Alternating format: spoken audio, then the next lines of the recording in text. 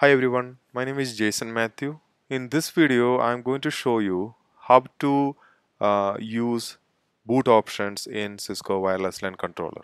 These boot options can be used for clearing the config, changing the primary image uh, and uh, formatting, clearing your flash and all those things. So I'll um, go to that uh, right away. So uh, first thing that uh, what we have to do is we have to reboot the controller first. So let me reset the system. Then I'll uh, explain you how we can go into that. So in for this video I have a 5520 controller. And this one is running with uh, HA uh, SSO in background. So I have a standby also in background. So I'm going to reboot this controller. Uh, it's already given the command is already uh, given to the controller console. And after rebooting while uh, rebooting you will get an option to uh, press escape so that you will get the boot options in background. So I'll wait for that option to come uh, so that I can press escape and get into uh, boot options. So you have to wait for that Cisco logo to come and you will get very less time to react on that uh, because it will continue the booting if you are not giving escape command uh, in between escape key press in between so it's rebooting now uh, and uh, restarting the system is happening in background. So in between you will get the Cisco logo. The same time you have to uh, press the uh, Cisco logo means that big Cisco logo. And you have to press escape to get into the boot uh, boot order. Boot options sorry.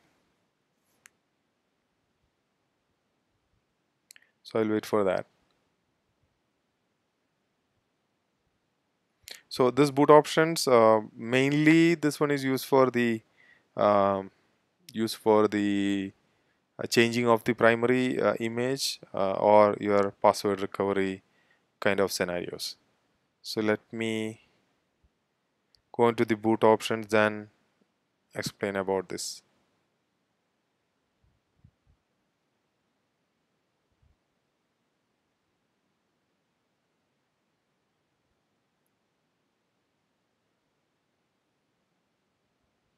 So this is the time you have to press escape. So you will get the bootloader, Cisco bootloader and you will get this logo.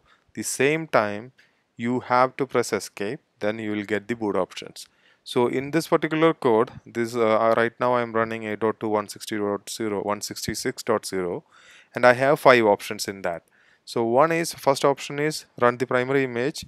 So for uh, only for one um, section if you want to run the backup image you can directly give number 2 choice number 2 to down, uh, boot with the backup image.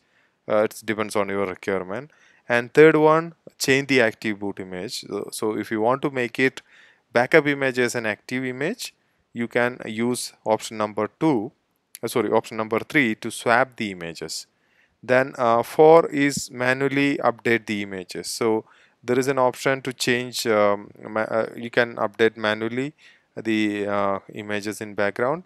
Then uh, fifth one is uh, clear config. So if you uh, play uh, sorry if you press 5 here if you give the choice of 5 then um, it will clear the clear the config and it will come back into um, come back into the factory reset settings so uh, I'm going to give uh, choice 1 let me um, show you. So I don't want to uh, give um, or uh, change anything right now.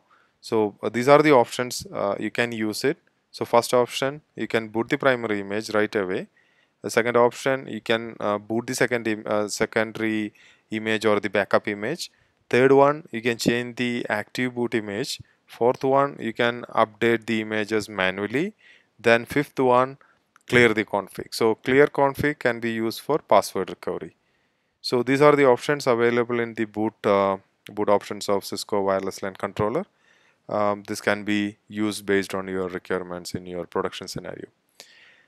Thank you for watching.